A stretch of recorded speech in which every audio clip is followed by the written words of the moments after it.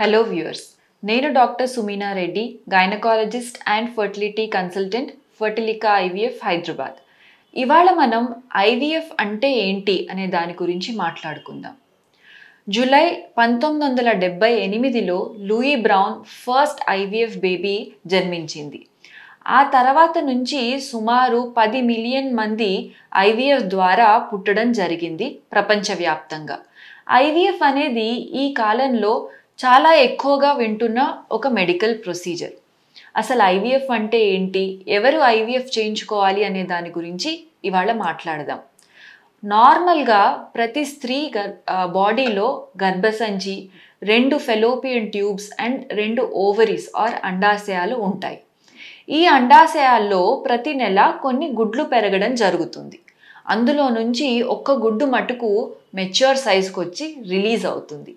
ఈ రిలీజ్ అయిన ఎగ్ దానంతట అదే ట్యూబ్లోకి ఫెలోపియన్ ట్యూబ్లోకి ప్రవేశిస్తుంది. అదే సమయంలో భర్త యొక్క వీర్యకణం లేదా శుక్రకణం కింద నుంచి గర్భసంచి నుంచి ట్యూబ్లోకి ప్రవేశించి ఫెలోపియన్ ట్యూబ్లో గుడ్డుతో కలిసి చిన్న బేబీ ఆర్ ఎంబ్రియో అనేది ఫామ్ అవ్వడం జరుగుతుంది. ఈ ఎంబ్రియో కొన్ని రోజుల పాటు ఈ ఫెలోపియన్ ట్యూబ్లోనే డెవలప్ అయి సుమారు ఆరో రోజుకి గర్భసంచి లోపల ప్రవేశించి గర్భసంచి లోపలి పొరలో అతుక్కొని ప్రెగ్నెన్సీ కింద మారుతుంది. ఇది ప్రతి ఒక్కరిలో నార్మల్గా జరిగే ప్రక్రియ. కొన్నిసార్లు ఫర్ సమ్ రీజన్ న్యాచురల్గా ప్రెగ్నెన్సీ రాని సమయంలో ఈ గుడ్డుని అండ్ శుక్రకణాన్ని మనం బాడీలో కాకుండా బయట ల్యాబొరేటరీలో కలిపి ఎంబ్రియో తయారు చేసినప్పుడు దాన్ని ఇన్విట్రో ఫర్టిలైజేషన్ అంటారు.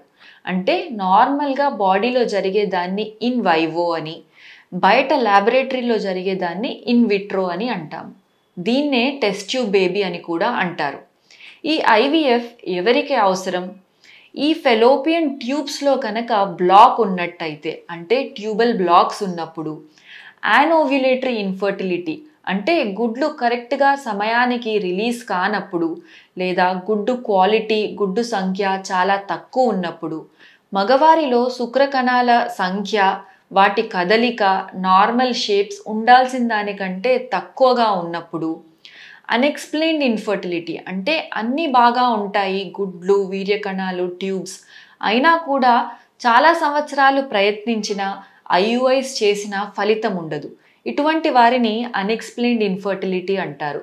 అన్ఎక్స్ప్లెయిన్డ్ ఇన్ఫర్టిలిటీ ఉన్నవారికి లేదా సివియర్ ఎండోమెట్రియోసిస్ లాంటి కండిషన్స్ ఉన్నప్పుడు కొంతమందికి ఫర్ సమ్ రీజన్ చాలా చిన్న వయసులోనే గుడ్లు ఉండవు తగ్గిపోతాయి. అట్లాగే శుక్రకణాలు తగ్గిపోవచ్చు. ఇటువంటి వారు డోనర్ ఎగ్ కానివ్వండి డోనర్ స్పర్మ్ కానివ్వండి వాడాల్సి వచ్చినప్పుడు ఐవీఎఫ్ పద్ధతి వాడాల్సి ఉంటుంది. కొంతమందికి బై బర్త్ గర్భసంచి సరిగ్గా ఉండకపోవచ్చు. లేదా కొన్ని సర్జరీస్ వలన గర్భసంచి తీయాల్సి రావచ్చు. కొన్ని కండిషన్స్ వలన గర్భసంచి తీయాల్సి రావచ్చు. అటువంటి వారు సరోగసి అంటే భార్య యొక్క గుడ్డు భర్త యొక్క శుక్రకణం వాడుతూ ఎంబ్రియో తయారు చేసి దాన్ని ఇంకొకరి గర్భసంచిలో తొమ్మిది నెలలు పెంచి తర్వాత తల్లిదండ్రులకు ఇస్తారు. దీన్ని సరోగసీ ప్రోగ్రామ్ అంటారు. So donor egg donor sperm లేదా సరోగసీ ప్రోగ్రామ్ వాడాలనుకున్న వారు తప్పకుండా ఐవీఎఫ్ చేయించుకోవాల్సి ఉంటుంది. అట్లాగే కొంతమందికి చిన్న వయసులోనే క్యాన్సర్ మూలాన ఎగ్ ఫ్రీజింగ్ లేదా స్పర్మ్ ఫ్రీజింగ్ చేయాల్సి రావచ్చు. ఇటువంటి వారు ప్రెగ్నెన్సీ ప్లాన్ చేసుకున్నప్పుడు కూడా ఐవీఎఫ్ ప్రక్రియ వాడాల్సి ఉంటుంది. ఈ ఐవీఎఫ్లో ఉన్న ముఖ్యమైన స్టెప్స్ ఆర్ అని చెప్పుకోవచ్చు. అందులో మొదటిది మీ డీటెయిల్డ్ హిస్టరీ అండ్ కౌన్సిలింగ్ చేస్తారు. తర్వాత పీరియడ్స్ వచ్చిన రెండవ రోజు నుంచి మీకు సుమారు పది రోజుల పాటు హార్మోన్ ఇంజెక్షన్స్ ఇవ్వడం జరుగుతుంది. ఈ హార్మోన్ ఇంజెక్షన్స్ ద్వారా గుడ్లను తగిన సంఖ్యలో పెంచడానికి ప్రయత్నం చేస్తారు. ఈ హార్మోన్ ఇంజెక్షన్స్ ఇచ్చే సమయంలో ఇంజెక్షన్స్తో పాటు రెగ్యులర్గా స్కానింగ్ మరియు బ్లడ్ టెస్ట్ చేసి గుడ్లు అనేవి సరిగ్గా పెరుగుతున్నాయా లేదా చెక్ చేస్తారు. దాని ప్రకారం డోసు పెంచడం తగ్గించడం చేస్తారు. గుడ్లన్నీ సరిగ్గా పెరిగిన తర్వాత సుమారు పన్నెండో రోజు మీకు మత్తిచ్చి ఈ గుడ్లను బయటికి తీయడం జరుగుతుంది. ఈ ఎగ్ రిట్రీవల్ అనే ప్రొసీజర్లో ఎటువంటి సర్జరీ ఉండదు. ఒక చిన్న సూది ద్వారా మటుకే ఈ ఎగ్స్ని బయటకి కలెక్ట్ చేస్తాము. ఇది థర్డ్ స్టెప్.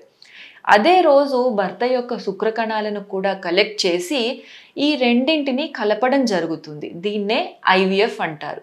కొన్నిసార్లు ఐవీఎఫ్తో పాటు ఇక్సి అంటే ఒక్కొక్క గుడ్డుకి ఒక్కొక్క శుక్రకణాన్ని ల్యాబొరేటరీలో ఇంజెక్షన్ ద్వారా దానిలోకి ఇంజెక్ట్ చేయడం జరుగుతుంది. దీన్ని ICSI or intracytoplasmic sperm injection అంటారు.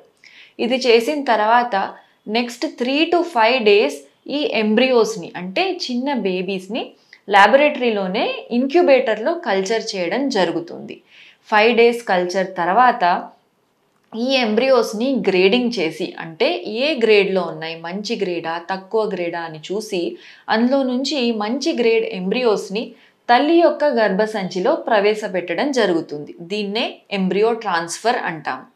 ఈ ఎంబ్రియో ట్రాన్స్ఫర్ సేమ్ సైకిల్ అంటే ఏ నెలలో అయితే గుడ్లు బయటికి తీసారో అదే నెలలో లోపల పెడితే దాన్ని ఫ్రెష్ ట్రాన్స్ఫర్ అని ఆ నెలలో కాకుండా వేరే యొక్క నెలలో పెట్టినట్టయితే దాన్ని ఫ్రోజన్ ట్రాన్స్ఫర్ అని అంటాం ఇది లాస్ట్ స్టెప్ ఎంబ్రియో ట్రాన్స్ఫర్ చేసిన తర్వాత నెక్స్ట్ పదహైదు రోజుల పాటు కొన్ని జాగ్రత్తలు తీసుకోవాలి మందులు వాడాలి.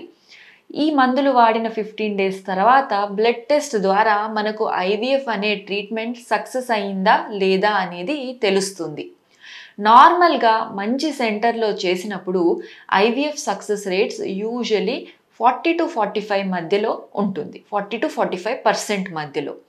ఈ ఐవీఎఫ్ సక్సెస్ రేట్కి ముఖ్యంగా తల్లి తండ్రి యొక్క ఏజ్ అంటే వాళ్ళ వయసు అండ్ ఎందుకు మనం ఈ ట్రీట్మెంట్ చేస్తున్నాము? Reason of infertility and treatment ఎట్లా చేయబడింది?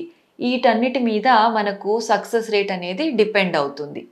సో ఒకవేళ కనుక మీకు ఐవీఎఫ్ ట్రీట్మెంట్ అవసరమని మీరు భావిస్తే ఒక మంచి డాక్టర్ని సంప్రదించి ప్రాపర్ కౌన్సిలింగ్ అండ్ ఇన్వెస్టిగేషన్స్ చేయించుకొని టైమ్లీగా ఐవీఎఫ్ చేయించుకోవడం ద్వారా మీరు తొందరగా సంతానం పొందగలుగుతారు. ఈ ట్రీట్మెంట్ చేయించుకునేటప్పుడు ఫిజికల్ అండ్ ఫైనాన్షియల్ ప్రిపేర్నెస్తో పాటు ఎమోషనల్ ప్రిపేర్నెస్ కూడా చాలా ఇంపార్టెంట్. సో ఐవీఎఫ్ అంటే ఏంటో మనం ఈ వీడియోలో తెలుసుకున్నాం కదా. సో మీకు అవసరం అనుకుంటే ఒక మంచి డాక్టర్ని సంప్రదించి తప్పకుండా ట్రీట్మెంట్ తీసుకోండి. Thank you. మరిన్ని వీడియోస్ కోసం ఛానల్ సబ్స్క్రైబ్ చేయండి. లేటెస్ట్ అప్డేట్స్ కోసం వాట్సాప్ ఛానల్ ఫాలో చేయండి. అండ్ లింక్ డిస్క్రిప్షన్లో ఉంది.